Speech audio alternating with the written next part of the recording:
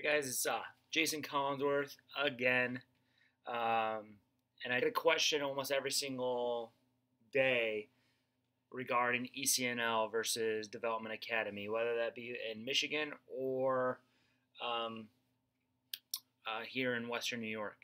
Uh, and I, I did a little research. Um, and I thought that this research um, will really help show where soccer is going, um, at least in the next couple years, regarding elite youth girls soccer. And, and, here's what I found. If you're not familiar with the ECNL setup and playoffs, how it's set up is it's set up into two or three tiers.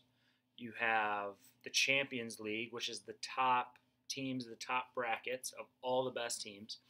Then you have a North American Cup, and then you have like a showcase for you know uh, some of some of the bottom teams that that didn't do great, but it's just another avenue to get uh, seen by college scouts. So I did some research of just the Champions League teams in the 14s, 15s, 16s, 17s, and the 18s. Here's the stats. Okay. If you see a red X,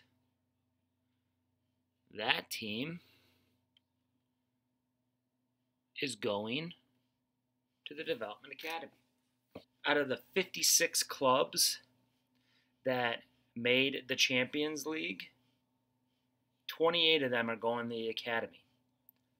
You're like, ah, Jason, that's just half. That's just half. Who cares? But when you boil it down to teams, in the Champions League brackets, there are 128 teams. 79 of them are going to the Development Academy. That's 61% are going to the Development Academy. What's that going to do to the ECNL's level? There's only one thing that it can do to the ECNL's level, and it's going to drop. Period. There's no there's no sugarcoating that out of the 14 age group, there were 16 that made the Champions League bracket. 10 of them are going to the academy. 10 out of 16. Out of the 15s, 21 out of 32. 21 out of 32. Out of 16s, 18 out of 32. Out of the 17s, 19 out of 32. And then 18s, it doesn't really matter, but it's 11 out of 16. So, my my point of view is that the development academy is going to immediately be the the top league and the ECNL is going to be the second tier uh, clubs. Now, both are still going to be great avenues for to, to, to be seen by colleges. Okay, you know what's gonna what is the academy going to do? Is it really going to work out? It's going to work out. U.S. Soccer will not let it fail. U.S. Soccer will make sure that it does not fail. And they're sick of losing. I mean, they're they're sick of seeing their girls teams, their U20 women's national team lose to North Korea in the World Cup last year. The 17s also lost to North Korea last year. How are we losing to North Korea? That's why we need that's why we need the development academy and that'll be a video down the road, but hopefully this information helps you and just you know uh, do the research yourself. Find out and identify your players' goals and wants and needs and then make your decision.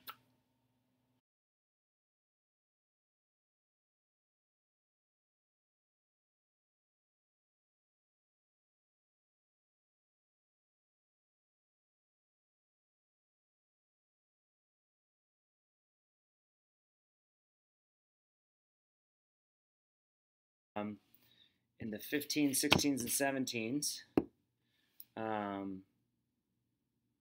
the final fours, okay, the 15s, four out of four going to DA. The 16s, four out of four going to the DA.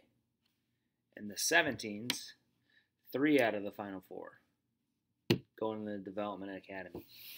Uh, and all five national champions from the 14s, 15s, 16s, 17s, and 18s, all Development Academy clubs.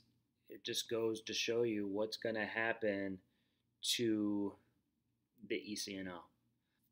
I don't know the inner workings of what happened and, and how it went down, but I am shocked that ECNL didn't just try to merge with the with U.S. Soccer, and I could still see it happening.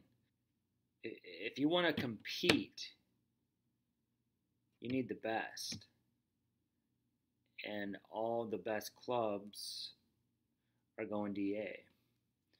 But it's also you know all about age group, such as like the Michigan Hawks 01s are playing EC or are the Michigan Hawks 01s are going to be playing Development Academy. The 02s are going to play ECNL. The top six ECNL players are going to play with the Development Academy.